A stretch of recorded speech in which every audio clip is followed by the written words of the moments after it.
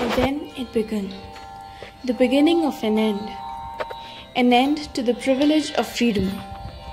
The world seemingly stopped. Only the trees had the permission to make movements.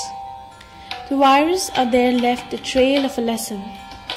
A lesson which we should all have known all by ourselves. The small things make a big difference. The clouds cunningly smiled, for finally nature was all set to save itself. I started living with nature that lived almost in every corner of my house. My tea smelled like petrichor.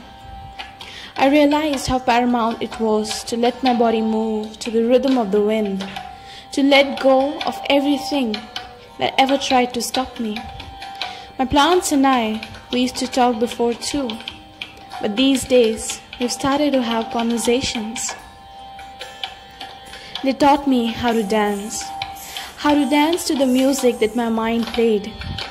They taught me the art of twirling in joy.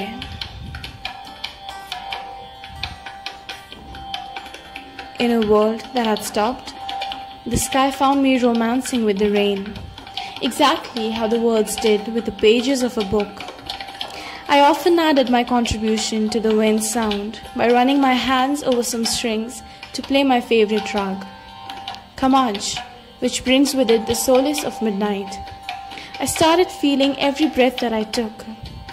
Of course, the world had turned upside down in a situation like this, but I couldn't neglect the happiness of the environment.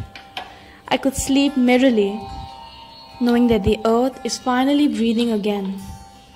The earth's neck is choked no more. My diary has become a part of my mind. I'm going to write and never stop.